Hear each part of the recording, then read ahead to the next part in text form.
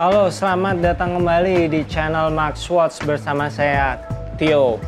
Kali ini saya akan membahas salah satu line dari Seiko yang cukup ikonik.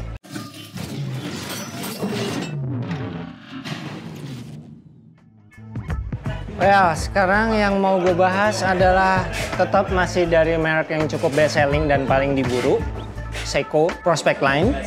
Ini sebetulnya model adalah model reissue yang memiliki nickname Arnie.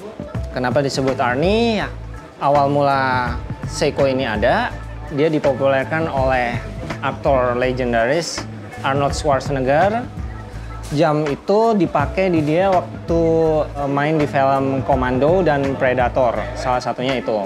Nah, sekarang di Baselworld 2019 kemarin, Seiko merilis reissue-nya dengan nickname SNJ 028. Apa bedanya? Dari yang lama? Nah, untuk yang lama mesinnya dulu adalah murni quartz battery berkaliber H558 dan itu kurang lebih dirilis mungkin sekitaran 1980-an ya. Dan untuk diameter juga pada waktu itu 45 mm nah sekarang ini lebih besar sedikit untuk yang sekarang ini kurang lebih memiliki diameter 47,8 mm.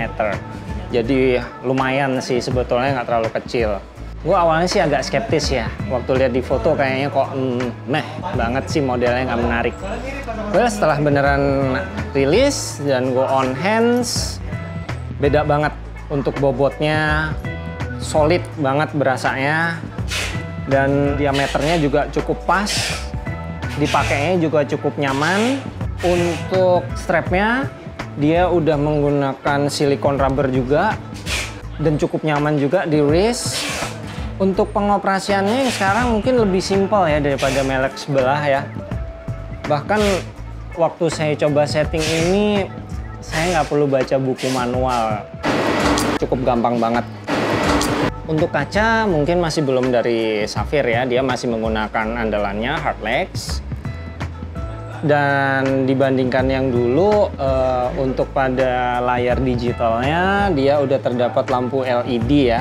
Ya lumayan cukup visible sih terang banget. Dan Seiko Arni ini dia untuk yang reissue dia keluar tiga varian ya. Salah satunya warna black rose gold black silver SNJ 027 ya lebih tepatnya. Yang black rose gold saya pegang ini itu SNJ 028 B1 buat kamu-kamu yang punya feels emosional, suka filmnya Arnold, suka jam ini, dan dulu belum kesampaian, punya yang lama, well itu nggak perlu dicari lagi, karena akan lebih susah. Kalau perlu nemu dari kolektor, mungkin harganya juga udah, fuh, ini wajib. Lo harus punya. Awalnya jujur, gue nggak suka. Bener. Tapi kayaknya ini gue bakal gue perhitungin sih buat memiliki Seiko Arni ini.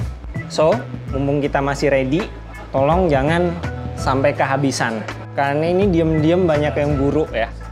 Oke demikian pembahasan dari salah satu jam Seiko Iconic.